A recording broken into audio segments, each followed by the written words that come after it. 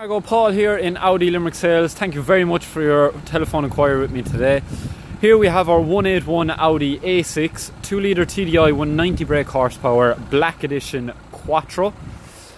Some of the key features a single frame chrome Audi grille, xenon headlights, LED daytime running lights, honeycomb insert on the S-line front bumper with upgraded 20 inch alloy wheels. Also comes with the rear privacy glass and black mouldings of the black edition to blend perfectly with the Mythos black metallic paint. This particular A6 comes with front and rear parking sensors, folding mirrors, and has a mere 8,000 kilometers on its clock.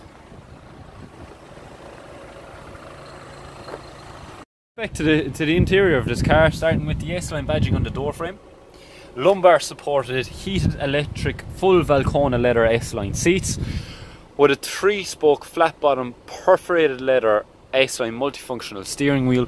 Moving further in then we have the four zone climate control. MMI touch which is MMI touch here apologies with the MMI plus bigger screen.